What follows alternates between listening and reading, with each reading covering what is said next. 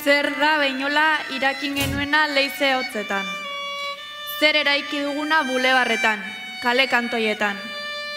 Zer kelkartu gintuen mehatzetan, segobiako estoldetan. Zenbat kilima atzetan, ezkabako ies beteetan, sasietan. Sutondoetan, zerk zaramagako lantegietan, elizetan.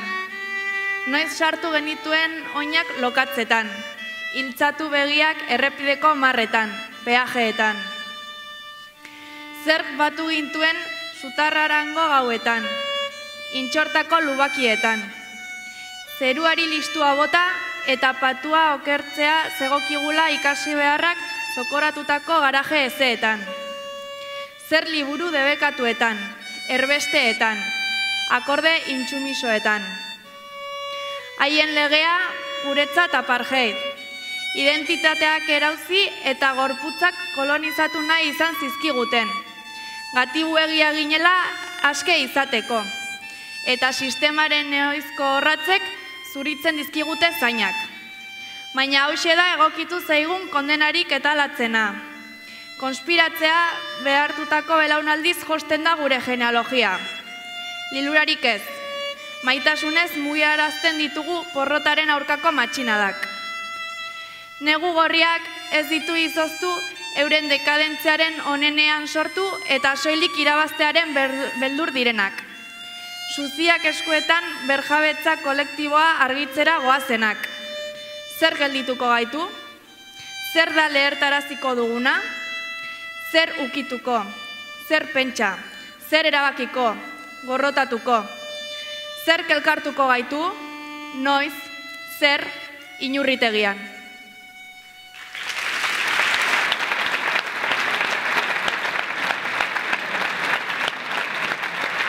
Herri hau zatitzeko saiakera aspalditik abiatu zuten estatuek. Muga artifiziala inposatu ziguten bidasoan eta pirinioetan. Ahatik, etzekiten, herri honen askatasuna izeak ez duela aduanarik ezagutzen. Garai bateko mugararien lorratzei segika, guk ere borroken kontrabandoari ekin behar diogu.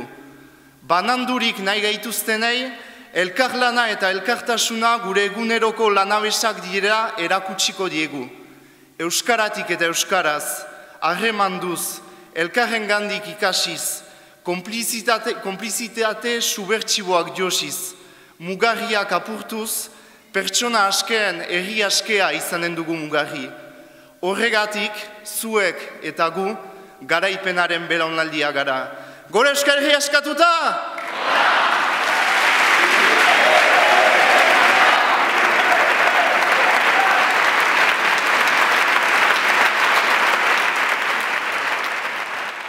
Kongresualdi honetan, ba, gure ustez herri honetan, izan dan beste momentu garrantzitsu bat aipatzea, ez? Eta hori da, karta sozialaren sorrera, karta sozialaren prozesua, ba, kartari e, batez ere ematen diogun garrantzia e, hiru konturen gatik azpimarratuko nuke, ez? Batetik, bakartaren baitan gehiengo e, sindikal eta sozial oso bat elkartzen gehalako, bigarren elementu bezala kartaren baitan biltzen gehan eragiok eraldaketa sozialaren aldeko apustu garbi bat egiten degulako, neurri e, eta proposamen sorta bat lantzen dalako beste eredu ekonomiko eta sozial bat ere ikitzeko, eta hirugarrenik ba, eraldaketa sozial hori buru jabetza prozesuri gabe ezinezkoa dela ezaugarritzen degulako. Ez? Eta guain bai amaitzeko esateana, ba, bueno, jarraitu antolatzen, jarraitu borrokan, zuek zeate herri honen etorkizuna eta egia dan hor esaten duen bezala, ba, bueno, atzetik indegun borroka guzti horri esker, garaipenaren belaunaldia izango zaretela. Ea hori horrela dan. Gora Euskal Herriko gaztedia! Gora Euskal Herria aske eta gorria!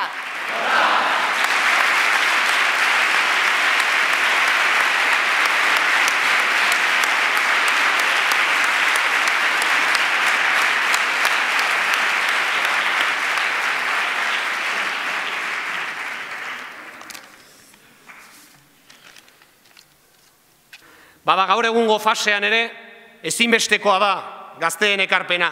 Ezinbestekoa da zuen guztien indarra. Lehen esan bezala zuek zaretelako, herri honen oraina eta etorkizuna. Eta ez da zuen bizkar gainean zama handiegia jartzearen, ez da hori gure bokazioa. Baina esan beharra dugu, zuek zaretela independentzia eskuratu dezakeen belaunaldia. Zuen esku dago, amarkadetan zehar, milaka eta milaka lagunek, milaka militanteek egindako borrokaren usta. Ardura handia da bai, ardura handia ba, baina gauza bat esan nahi dizuegu, konfiantza osoa dugu zuengan, konfiantza osoa, badakigulako usta hori alperrik galtzen utzi ez, eta azken ondorietaraino eramango duzuela. Irabazteraino eramango duzuela, baina orain gerra irabaztea falta da.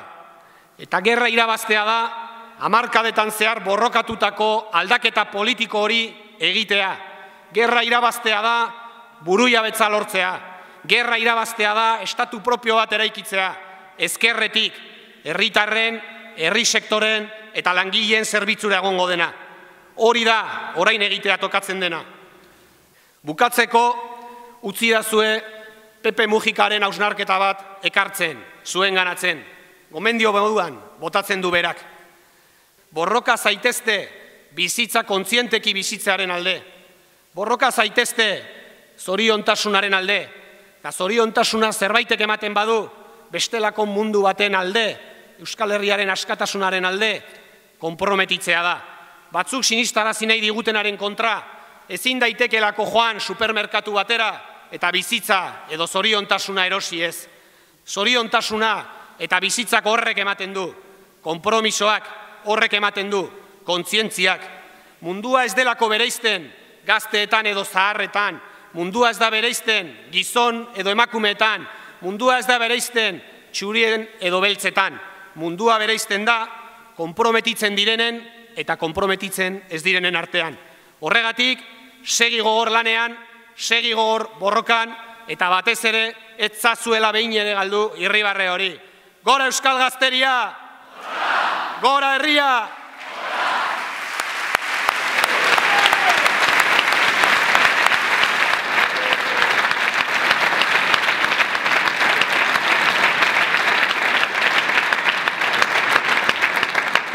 Hainbat garaipen lortzeaz gain, gure helburuak lortzeko baldintza paregabeak lortu dira. Komunitate izaera sendoa dugu. Egungo marko juridiko politikoa agortu eginda. Erregimenaren zutabe diren PP eta PSOE geroz eta indar testimonialagoak dira herri honetan. Gehiengo sindikal independentista eta borrokalaria dugu. Are gehiago, borroka zereindako aziaren usta jasotzen ari gara gaurdanik. Horren erakusle, Lapurdi, Benafarroa eta Zuberoan iraultza, fra, iraultza jakobinoaz geroztik lehen aldiz instituzio propioak ditugu. Eta Nafarroan, ia berrogei urte ondoren erregimena eraisten ari gara. Berrogei urtetako borrokari esker, apardeit linguistikoaren, opus deiaren, guardia zibilaren, ustelkeriaren eta patronalaren erregimena eraisten ari gara.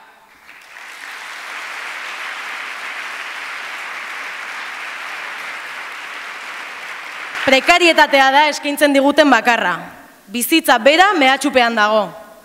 Rosa Luxemburgen esaldia gogora ekarriz, kapitalismo basati honen aurrean hauzia argia da.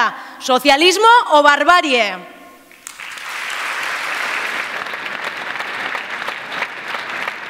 Kapitalismoak ezinbesteko bidelaguna du, patriarkatua. Bizitzaren sustengu izanen den eta inolako aitortza sozial eta ekonomikorik izango ez duen lanak doan egingo dituen emakume hotzan, goxo eta pribatuak nahi dituzte. Geure buru eta gorputzen gain erabakitzeko aukera ere ukatu nahi zaigu. Eta ez dute lortuko. Gurea da gorputza eta geurea da erabakia. Euskal Herri feminista eraikitzera goaz.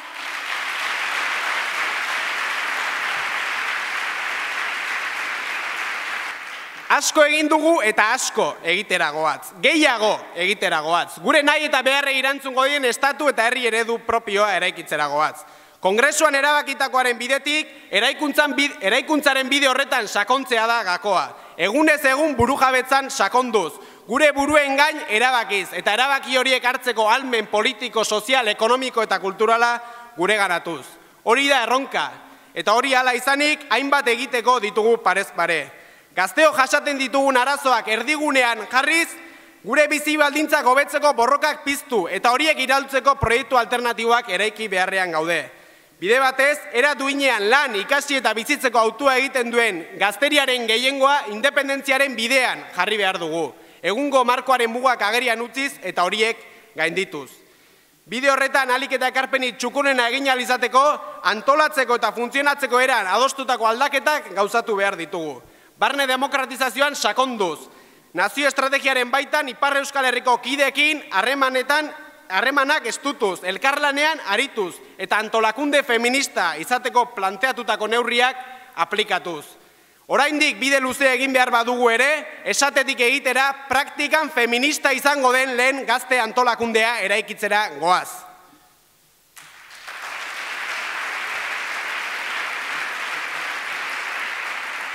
Ezkara, salaketan eta erresistentzian goxo gauden kideak.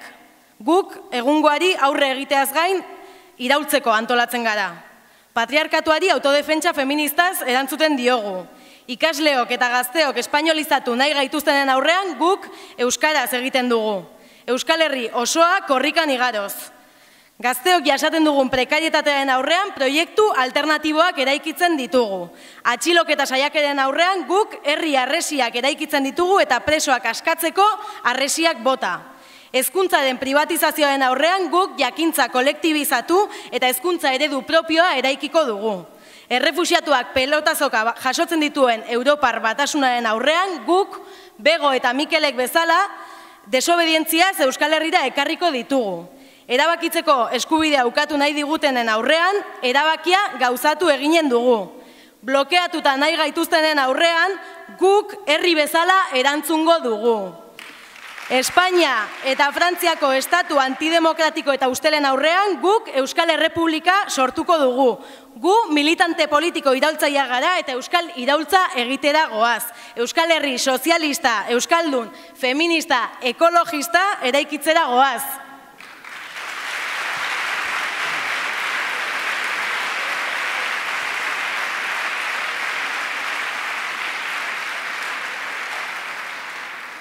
Horixe da, beraz, egin behar duguna.